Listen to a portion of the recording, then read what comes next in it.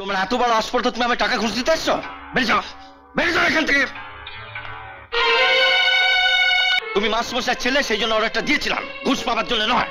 দাদা। কোনো কথা নয়। ওগুলো তুলে এই মুহূর্তে ঘর থেকে বেরিয়ে যাবে। আর জীবনে এই ঘরে ঢুকবে না। আমি তোমার কাছে শুধু একটাই অনুরোধ করব মা। আমার মুখে ঝামা ঘষবার জন্য তুমি মেয়ের বাবার কাছে ফ্ল্যাট গাড়ি চেয়ে নিজেকে ছোট করো না। তুমি নাকি ওই মুখ পড়াটাকে সারা জীবনের জন্য নিয়ে নিয়েছো? ওকে মুখ পোড়া বলছেন কেন মা?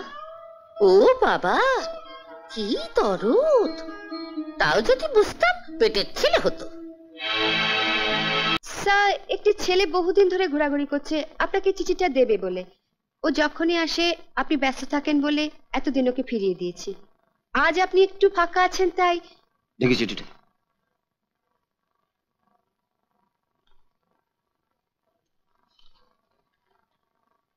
প্রিয় তপন আশা করি তুমি ভালোই আছো।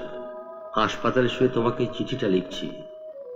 আমার একমাত্র ছেলে অতনের জন্য আমি কিছুই করতে পারিনি। স্কুল মাস্টারের আর কতই বা রোজগার বলো? ও নিজের চেষ্টায় ছোটখাটো একটা ব্যবসা শুরু করেছে।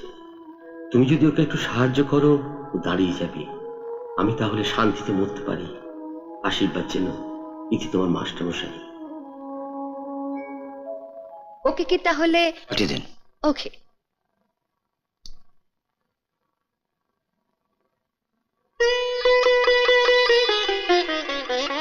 দাদা আসব? আসুন আসুন আসুন। আমি আপনার থেকে বয়সে অনেক ছোট। আপনি আমায় আপনি আপনি করছেন কেন? আরে বসো বসো বসো।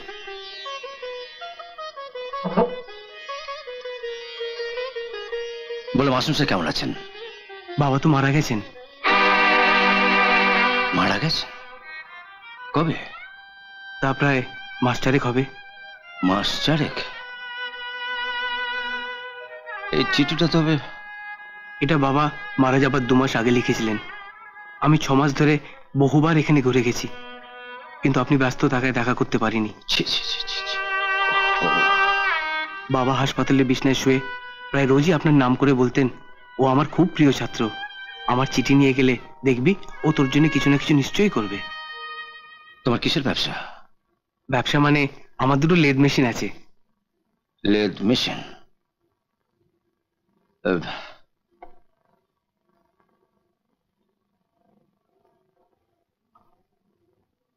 দেখো তো এটা করতে পারবে কিনা।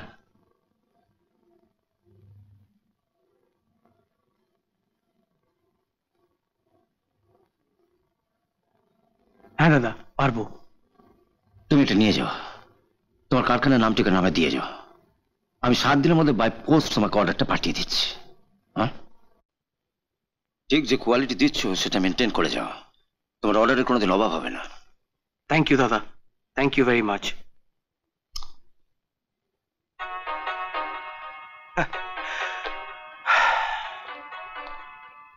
উফ যা গরম পড়েছে না?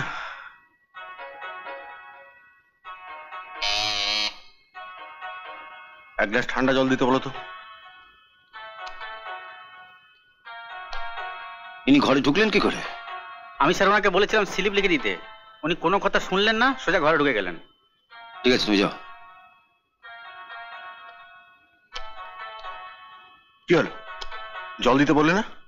এটা আমাদের বাড়ি নয় এটা অফিস। এখানে কিছু নিয়ম কানুন মেনে চলতে হয়। তুই বাড়ি গিয়ে বস আমি ঠিক সময় ডেকে পাঠাবো। যা। আমি বাইরে গিয়ে বসবো? হ্যাঁ। বাইরে আরও দুজন অপেক্ষা করছে। তাদের সঙ্গে কাজটা সেরে নে তারপর তোকে ডেকে পাঠাবো। আর জলটা ওখানে চেয়ে নেবে যা। আমাকে কতক্ষণ অপেক্ষা করতে হবে? কোনো ঠিক নেই। এক ঘণ্টা হতে পারে আবার দু ঘণ্টা হতে পারে। কি হলো? বাইরে যা। তপন তোকে ঘর থেকে বেরিয়ে যেতে বলেছে? হ্যাঁ। রতনে বসে একটা ছেলে বসেছিল তার সামনে। শুনলে? তোমার বড় ছেলের কাণ্ডটা শুনলে? বড় বাবা বড় বাবা বড় বৌমাকে আবার এর মধ্যে টানছো কেন? ওকে জানিয়ে দেব ওর স্বামী যা করছে তা ভালো করছে না। আমায় ডাকছেন মা? তপনকে বলে দিও এত হিংসে ভালো নয়। দাদা হয়ে ছোট ভাইয়ের জন্য কিছু তো করলেই না। স্বপন আজকে নিজের চেষ্টায় নিজের ক্ষমতায় আজ একটা ভালো চাকরি জোগাড় করেছি। সেটাও সহ্য হচ্ছে না। কি হলো? চুপচাপ দাঁড়িয়ে আছো? কিছু বলছো না যে? কি হয়েছে? তাই তো আমি জানি না। দাঁড়িয়ে রইলি কেন? বল। দাদা তোকে কীভাবে অসম্মান করেছে? সম্মান না অসম্মান জানি না। আমি যা করেছি ঠিকই করেছি। ঠিক করেছিস? হ্যাঁ। আমি তো শুনেছি যে ছেলেটা তোমার চেম্বারে বসেছিল। সে নাকি প্রায় আসে তোমার কাছে। ঘণ্টা খানেক ধরে তুমি ওর সঙ্গে গল্প করো। তখন কাউকেই তুমি তোমার চেম্বারে ঢুকতে দাও না। হ্যাঁ তাতে কি হয়েছে? কিছু না হলেও তো বাড়িটা হয়েছে। ওর কাছ থেকে মোটা টাকা ঘুষ নিয়েই তো বাড়িটা কিনেছো। তোর কোম্পানির মালিক ভবতোষ বাবুকে কি জিজ্ঞেস করিস না। ওকে তো আমি বছর কুড়ি লক্ষ টাকার অর্ডার দিই। তার জন্য উনি আমাকে কত টাকা ঘুষ দেন? ঠাকুরপো কি তাহলে কাল যাবে একবার তোমার চেম্বারে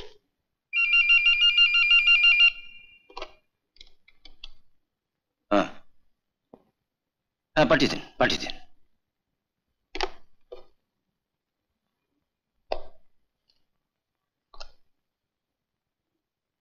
দাদা, আসব? আরে, এসো এসো এসো। বসো।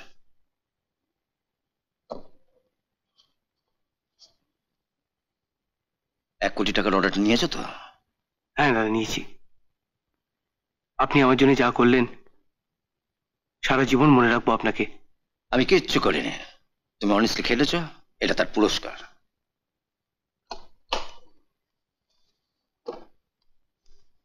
এটা আপনার জন্য এনেছি দাদা। ডায়েরি নাকি? বছরের মধ্যিখানে কি কেউ ডায়েরি দেয় নাকি? তাহলে এটা কি? এখন এটা অ্যাটাচিতে রেখে দিন। বাড়িতে গিয়ে খুলে দেখবেন। বাড়িতে গিয়ে দেখব। আরে বলবে তো এতে কি আছে? দাঁড়ান।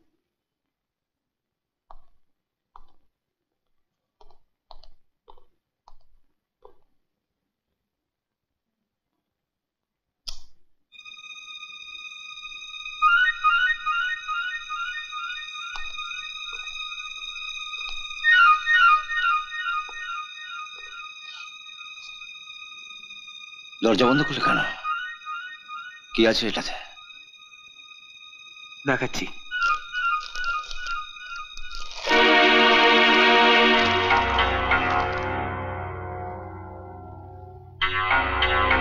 আপনার জন্যই আমার সবকিছু।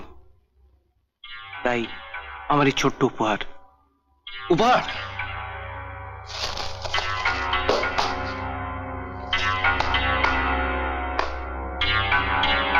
তোমরা এত বড় আসপর্দা তুমি আমার টাকা ঘুষ দিতে এসছো? বেরিয়ে যাও বেরিয়ে যাও এখান থেকে। I say get out from my chamber. Get out. আপনি বিশ্বাস করুন দাদা। আমি তোমার কোনো কথা শুনতে চাই না। তুমি মাসমশাই ছেলে সেই জন্য অর্ডারটা দিয়েছিলাম। ঘুষ পাবার জন্য নয়। দাদা। কোনো কথা নয়। ওগুলো তুলে এই মুহূর্তে ঘর থেকে বেরিয়ে যাবে। আর জীবনে এই ঘরে ঢুকবে না। যাও।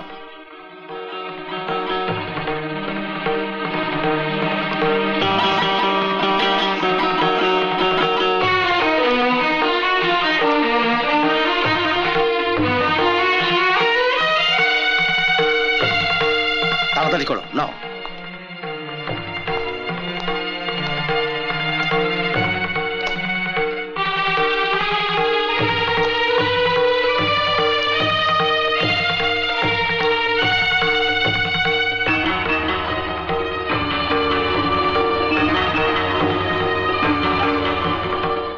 আজ পর্যন্ত যে কোম্পানিতে গেছি সবাই টাকা ঘুষ নিয়েছে। একমাত্র আপনি কোনো ঘুষ না নিয়ে আমায় অর্ডার দিয়েছেন। আজ এই এক কোটি টাকার অর্ডারটা পাবো জেনে এই টাকাগুলো নিয়ে এসলাম আমি। আমাকে ঘুষ দেবার জন্য? তিরুপতির মন্দিরে ব্যবসায়ীরা লক্ষ লক্ষ টাকা দিয়ে আসে। ওটা কি তিরুপতি বাবাকে ঘুষ দেওয়া বলে? বলুন দাদা বলুন। ওটা ওরা প্রণামী হিসেবে দেয়। দেবতার পায়ে ভক্তের প্রণামী। কথায় কথা আপনি একদিন বলেছিলেন যে বাড়ি করতে গিয়ে ব্যাংক থেকে চড়া সুদে অনেক টাকা ধার নিয়ে ফেলেছেন। ছোট ভাই হিসেবে আমি আপনার পাশে এসে দাঁড়াতে চেয়েছিলাম, দাদা। আমি ভাবতে পারিনি আপনার পাশে থাকতে থাকতে একটা ছোট ভুলের জন্য আমাকে এত দূরে সরে যেতে হবে।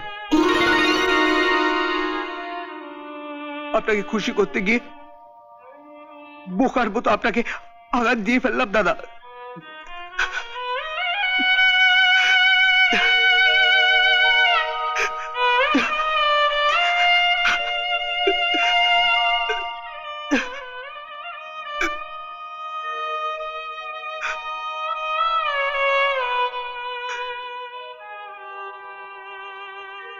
আমি অর্ডারটা রেখে গেলাম। আর জীবনে কোনোদিন আমি আপনাকে আবার মুখ দেখাবো না। কিন্তু দাদা দাদা, দয়া করে আপনি আমাকে আপনি আমাকে, আপনার আশীর্বাদ থেকে বঞ্চিত করবেন না, দাদা। আশীর্বাদ থেকে বঞ্চিত করবেন না।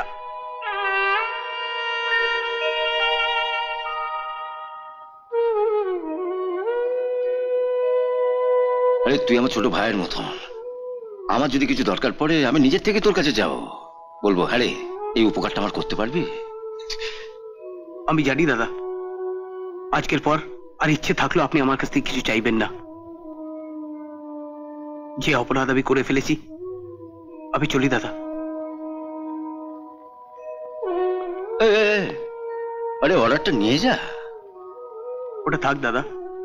জানব তোমাকে আঘাত দেওয়ার শাস্তি হিসেবে। ওটা আমার হাত ছাড়া হলো। আরে শাস্তি তো তোর পাওয়া হয়েই গেছে। তো চোখের জলে তোর সব অপরাধ ধুয়ে মুছে গেছে। অর্ডারটা নিয়ে যা, আয় আয়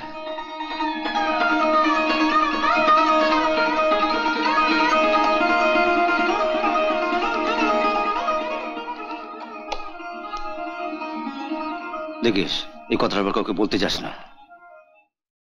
হ্যাঁ বলতে তো হবেই। মেয়ের বিয়ে দিতে গেলে শুধু পাত্রের সঙ্গে কথা বলতে চলবে না। পাত্রের বাবা মার সঙ্গে কথা বলতে হবে। আমাদের কিচ্ছু বলতে হবে না। যা বলবার স্বপনই বলবে। ওহ সবকিছুর একটা আদব কায়দা আছে। আমরা মেয়ের বাবা মা আমাদের আগে গিয়ে বলতে হবে। আসব স্যার। আরে। এসো এসো এসো বসো। আর কতদিন ওকে স্যার স্যার করবে? অনুর মতন যাতে বাবা বলতে পারো তার ব্যবস্থা করো। মা বাবাকে বলেছি আমি অনুর কথা। ওদের কোনো আপত্তি নেই। শোনো তোমার বাবা মাকে আরেকটা কথা জানাতে হবে। ওটা এখন না জানিয়ে বিয়ের পরে না হয় জানাবে? না ওটা আগেই জানাতে হবে। এবং জানতে হবে ও তোর বাবা মার মত আছে কি না। ডিভোর্সি হ্যাঁ পাঁচ বছর আগে অনুর একটা বিয়ে হয়েছিল। তিন মাস পরে ওদের ছাড়াছাড়ি হয়ে গেছে। ঠিক আছে ঠিক আছে। সোনার আংটি আবার বেকা হয় নাকি? তুই ওর বাবা মাকে বলে দিস আমাদের কোনো আপত্তি নেই।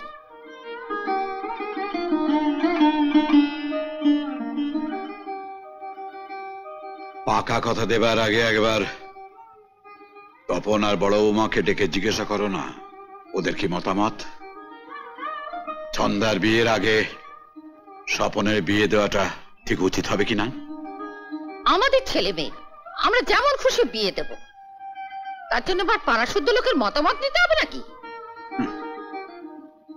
যার বাড়িতে আছো যার পয়সায় খাচ্ছ সেই তপন আজ পাড়ার লোক হয়ে গেল। তাছাড়া আবার কি?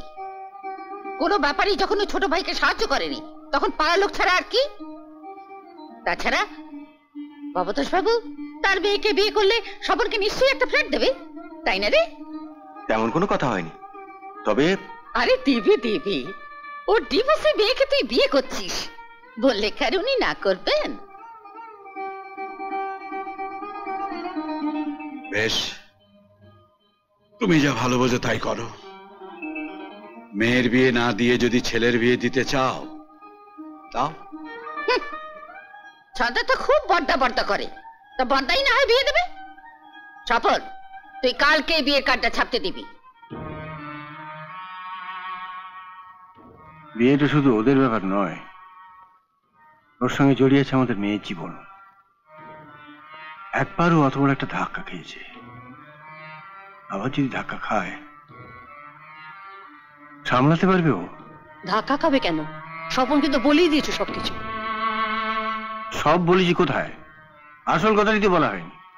ওটা বলার কি দরকার? বিয়ের পর সুযোগ বুঝে স্বপনকে সব বুঝিয়ে বললেই হবে। না বিয়ের পরে নয়। যা বলার বিয়ের আগেই বলতে হবে। তাতে বিয়ে হয় হবে না হয় হবে না। আরে বাবা ওনো ডিভোর্সি জেনেও যখন ওর মা বিয়েতে রাজি হয়েছেন তখন ওর একটা পাঁচ বছরের ছেলে আছে জানলেও ওর মা ঠিক রাজি হবেন। অসম্ভব! বাচ্চা খুলে নিয়ে নতুন বউ বাড়িতে ঢুকবে? লোকে বলবে কি? এখন লোকের কথা ভাবছ কেন? ডিভোর্সে শুনে তো বলেছিলে আমাদের ছেলের বিয়ে আমরা যেমন খুশি দেব। পড়াশুদ্ধ লোকের মতামত নিতে হবে নাকি?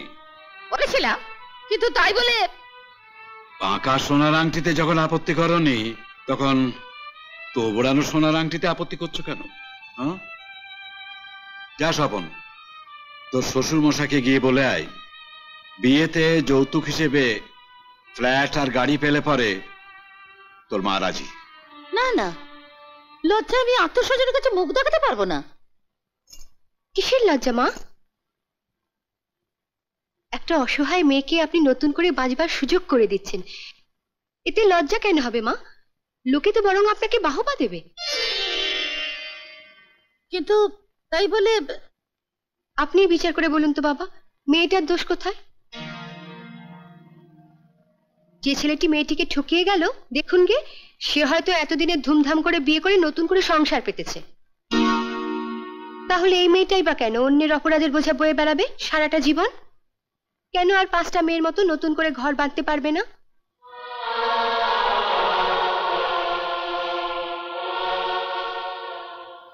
আপনারা পুরুষরা যে নিয়মটা করেছেন সেটা ঠিক নয় বাবা। স্বামী অকালে মারা গেলে স্ত্রী সমস্ত সুখ আহ্লাদ বিসর্জন দিয়ে থান পড়ে নিরামিষ খেয়ে সারাটা জীবন কাটাবে। আর স্ত্রী মারা গেলে এক বছর যেতে না যেতে স্বামী ড্যাং ড্যাং করে বিয়ে করে নতুন বউ ঘরে নিয়ে আসে। তপন আবার কিছু বলবে না তো? আমি তোমার কাছে শুধু একটাই অনুরোধ করব মা। আমার মুখে ঝামা ঘষবার জন্য তুমি মেয়ের বাবার কাছে ফ্ল্যাট গাড়ি চেয়ে নিজেকে ছোট করো না। স্বপন চাকরিটা ভালো করে করুক। আজ হোক, কাল হোক, ও নিজেই ফ্ল্যাট গাড়ি করতে পারবে। কাল সকালে গিয়ে মেয়েকে আশীর্বাদ করে আসুন, মা। আশীর্বাদ করতে হলে তো সোনার গয়না চাই। স্বপন তো এখনও মাইনেই পায়নি।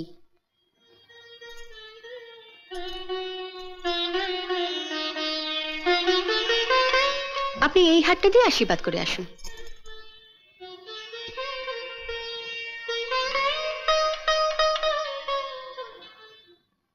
মিসদা মেজবুদি ছেলেটাকে কেমন দেখতে? আমি তো ওকে দেখিনি। আজই প্রথম শুনলাম। রোজ ভোর পাঁচটা একটা আয়াস ওকে নিয়ে যায় ফিরিয়ে দিয়ে যায় রাত এগারোটা। পর্দার মুখে শুনলাম মেজার বিয়ে নাকি ফাইনাল? আর এটা হোটেল রিজার্ভেশন রিসিট। আর এটা হলো দাদু ভাইয়ের অ্যাডমিশন ফর্ম। আর এটা ফাদারের কনফার্মেশন লেটার। এইটুকু একটা বাচ্চাকে তুমি এত দূরের একটা হোস্টেলে একা একা রেখে দেবে? কি করব বলো? বিয়ে করেছি। কোথায় একটু আনন্দ ফুর্তি করে কাটাবো তা নয় এই হারামজাদাটাকে আমাকে ট্যাঁকে নিয়ে নিয়ে ঘুরতে হবে। তাই বলে? তুমি ভাবতে পারবে না দিদি। ও এমন এক একটা জায়গায় আমাকে মা বলে ডেকে ওঠে না যে লজ্জায় আমার মাথা কাটা যায়। ও তোমাকে মা বলে ডাকলে তোমার লজ্জা করে? করবে না। দাঁড়াও শনিটাকে রেখে আসি। আমি একটু কথা বলব অনু। যা বলার তাড়াতাড়ি বলো। ওকে আমায় দিয়ে দাও না। তোমায় দিয়ে দেবো? হ্যাঁ দেবে। ওকে কাঁধ থেকে নামাতে পারলে তুমি বেঁচে যেতাম। কিন্তু তোমাকে দেওয়া মানে তো এ বাড়িতেই থেকে যাবে। তারপর যখন তখন আমার ঘরে ঢুকে যার তার সামনে আমাকে মামা বলে ডেকে উঠবে।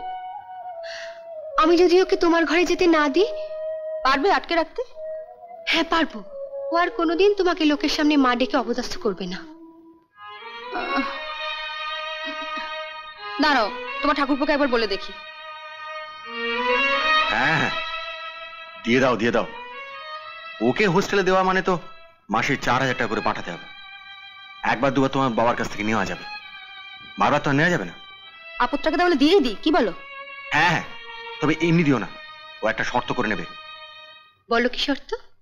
এক ও আমাকে মা বলে ডাকবে না। দুই আমার ঘরে ও একদম ঢুকবে না। তিন ওর অসুখ বিসুখ করলে সব দায়িত্ব তোমাদের। আমাকে একদম ডাকবে না। ওর পিছনে একটা টাকাও আমরা খরচ করতে পারব না। ঠিক আছে।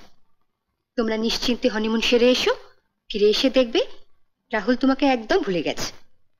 উফ এটা যদি করতে পারো না দিদি? চলো এক ঘণ্টার মধ্যে এয়ারপোর্ট পৌঁছতে হবে। আসি দিদি। আহ, সোনা ছেলে এসো।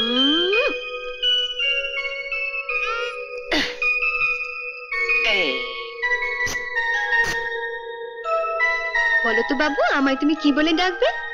মা না না না না বড় মা। ওলে বাবা সোনা ছেলে ভালো মেজু বৌদি বলে গেল তুমি নাকি রাহুলকে বরাবরের জন্য নিয়ে নিয়েছো? হ্যাঁ। বল তো রাহুল আমি তোর কে হই? মা না না না না বড় মা।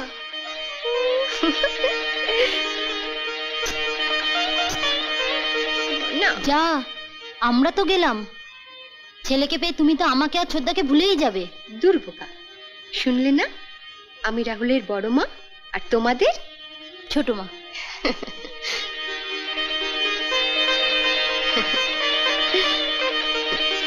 বড় মা আমার বড় মা তোমার ছোট মা তাই না পিসি? অনেক ভাগ্য করে জন্মেছিলি তাই এমন মা পেলি। না না মা না বড় মা। বড় বৌদি। হ্যাঁ যাচ্ছি। চল রাহুল।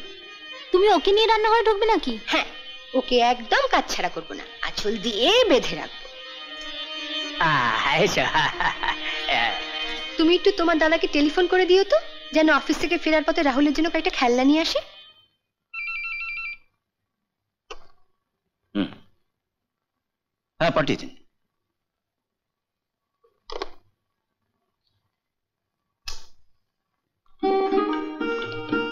আসব দাদা? আরে এসো এসো এসো এসো। বসো।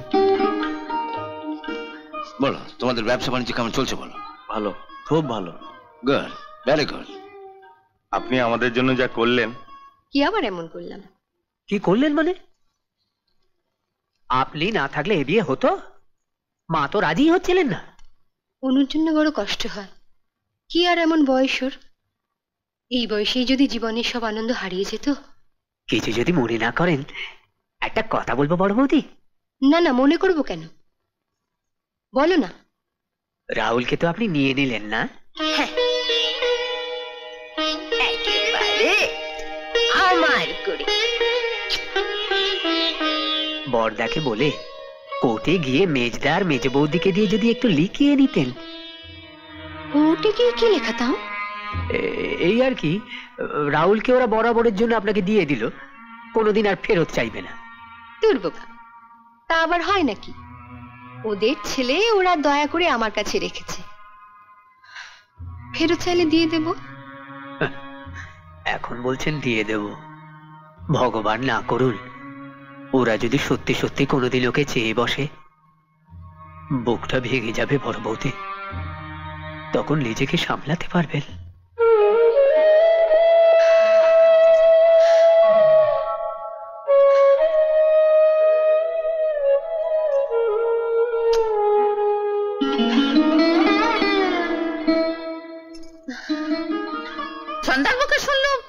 তুমি নাকি ওই মুখ পোড়াটাকে সারা জীবনের জন্য নিয়ে নিয়েছো? ওকে মুখ পোড়া বলছেন কেন মা? ও বাবা কি দরদ। তাও যদি বুঝতাম পেটের ছেলে হতো। মেজে বৌমা কোন বাড়ির মেয়ে সে তো বিয়ের দিনে গিয়ে ওদের বাড়িতে দেখে এসেছ। ও কিন্তু কোনো কাজ করতে পারবে না। ওই মুখ পোড়াকে টাকে গোজে সংসারে সব কাজকর্ম করতে পারবে তো? আমি গরিব ঘরের মেয়ে মা। সব পরিবেশে নিজেকে মানিয়ে নিতে পারি। কাজ নিয়ে আপনাকে চিন্তা করতে হবে না। হ্যাঁ তাই যেন হয়। ছেলে পেয়ে আবার বাড়ির লোকেদের কথা ভুলে যেও না যেন। মা একটু দাঁড়াবেন। কেন? তোর আবার কি হলো?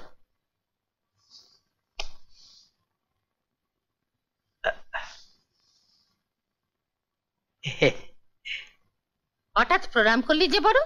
বড় ইচ্ছে হলো। গড় হয়ে আপনাকে একটা প্রণাম করি। বুঝেছি। দেশে যাবি ছুটি চাই। তা যা না যা।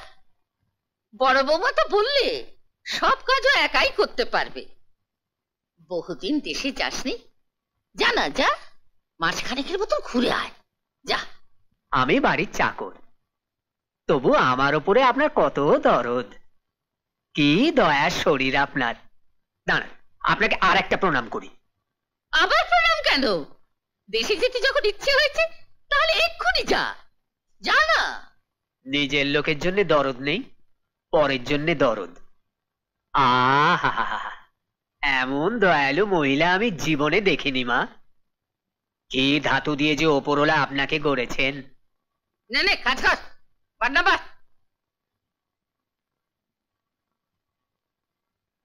গত জন্মে অনেক পুণ্যি করেছিলুম। তাই আপনার মতো বৌদি পেয়েছি। আর পাপও বোধহয় কম করিনি। নইলে আমি দজ্জাল শাশুড়ির দর্শন পাই। উনি গুরুজন এভাবে বলতে নেই। আপনি বুঝতে পারছেন না বড় বৌদি। মেজ বৌদি ফিরে এলে দুজনে সলা পরামর্শ করে আপনাকে আরও খাটাবে। আমার নাম হরি। এতদিন সব করেছি কিন্তু রান্না করিনি। এবার দরকার হলে রান্নাও করব। তুমি রান্না করতে জানো? আপনার মতো হয়তো রাঁধতে পারব না তবে চালিয়ে নেব। আপনি আপনার ছেলেকে সময় মতো খাওয়াবেন ঘুম পাড়াবেন গোটা সংসারটা আমি একাই সামলে নেব দেখি তো আছে দেখি তো। মহাভারতে পড়েছি দ্রৌপদীকে লজ্জার হাত থেকে বাঁচিয়েছিলেন শ্রীহরি। আর এই দজ্জাল শাশুড়ির হাত থেকে আপনাকে বাঁচাবে? আপনার ভক্ত এই হরি। বড় বৌমা? ও বড় বৌমা? বড় বৌমা?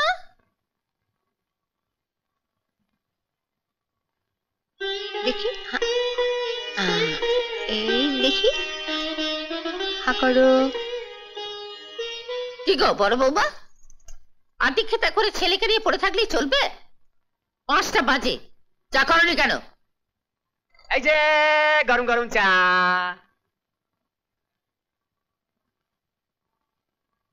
তো এখানে। চা হলো কি করে? যেমন করে চা হয়। প্রথমে গ্যাস জ্বালালাম তারপর তাতে জল ফুটিয়ে চায়ের পাতা ভিজিয়ে। চা করল কে? কে করল তা জেনে কি করবেন? আপনার তো দরকার চা। নিন ধরুন। বড় বৌমা এখানে। অথচ চা হয়ে গেল। বড় বৌমা এখন লন্ডনে থাকলেও টাকবাক টাকবাক করে জল ফুটে চা হয়ে যেত। হ্যাঁ রে হরি তুই দেশে যাবে বলেছিলি। যাবে না? কতদিন দেশে যাসনি? জানা আমার কথা না ভেবে চাই চুমুক দিন। নইলে চা যে ঠান্ডা হয়ে যাবে। বাবু চা পেয়েছে?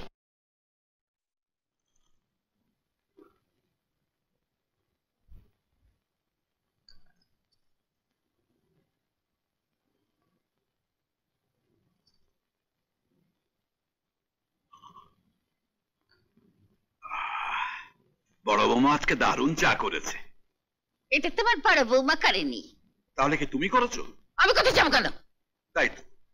তোমার মুখ ছাড়া তো কোনো অঙ্গ প্রত্যঙ্গ কাজই করে না। তা যারা করল কে? হরি। হরি? বলো কি? তাহলে তোর মাইনে বাড়াতে হবে। দারুণ চা করেছে। দারুণ না ছাই। এক ফোঁটা বৃষ্টি দেয়নি। তো কিন্তু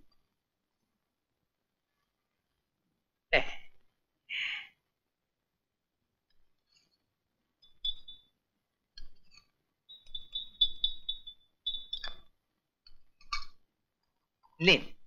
চুমুক দিয়ে বলুন আরও চিনি লাগবে কিনা। তুই আবার চিনি দিতে গেলি কেন? বললে তো চাই মিষ্টি হয়নি। চিনি দেবে না তোকে নুন দেবে? নিন মা চুমুক দিন।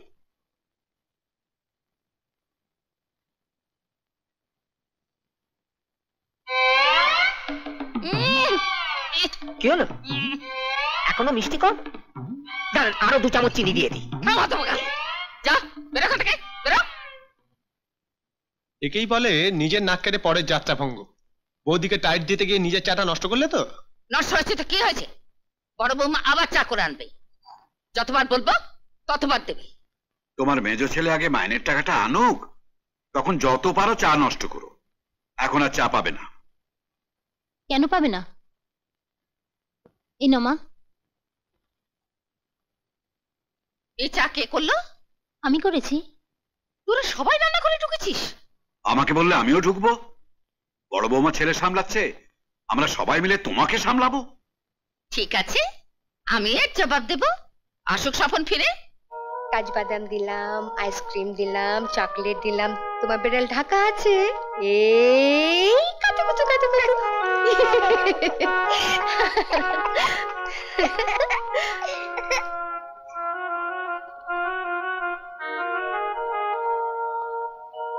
এগুলো কি? আর বলো না। রাহুলের খেলনার জন্য ছন্দা আমার অফিসে ফোন করেছিল। সেই সময় আমার চেম্বারে ছিল। এক মিনিট আসছি বলে এত খেলনা এনে হাজির। কেন? আমরা আমাদের ভাইপোকে দিতে পারি না? বলুন মোদি পারো কিন্তু এবার আনলে মারবো।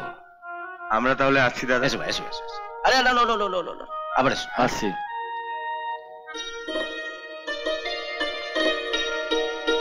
ছন্দা বলল তুমি নাকি রাহুলকে মেজবের কাছ থেকে চেয়ে নিয়েছো? হ্যাঁ একেবারে নিজের করে। বরাবরের মতো।